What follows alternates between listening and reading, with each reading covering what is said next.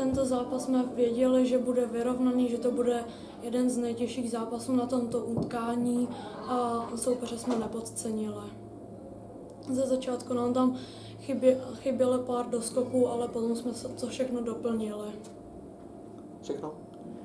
Já gratuluju Žary k vítězství a děkuji za takovýhle skvělý zápas. Prohra o dva body, ale pro mě to zas úplně prohra není, protože my jsme začali nějak OK, první poločas, po, pol, o poločasové pauze jsme měli taktickou poradu v šatně a tam jsem klukům řekl, jak bych si představoval, aby hráli ve druhém poločase, což splnili od prvního do posledního bodu. Já bych jim chtěl poděkovat za ten výkon, protože to, eh, jak se prali s, s tou výškovou převahou soupeře, bojovali, stálo je to hodně sil, ten zápas hodně bolel, bylo tam spoustu kontaktů, ale prostě pro mě jsou kluci vítězové a já tenhle zápas jako prohru vůbec neberu a děkuji jim ještě jednou za to, jak se s tím porvali.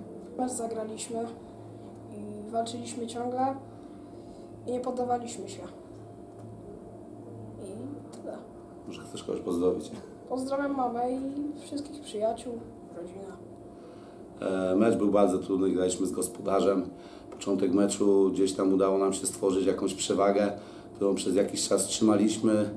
W ostatniej kwarcie e, drużyna gospodarzy Decin, super grająca, e, dogoniła nas i końcówka była bardzo emocjonująca, ale walka była wspaniała. No, super mecz, no, warto, warto na takim turnieju być, żeby, żeby taki mecz zagrać.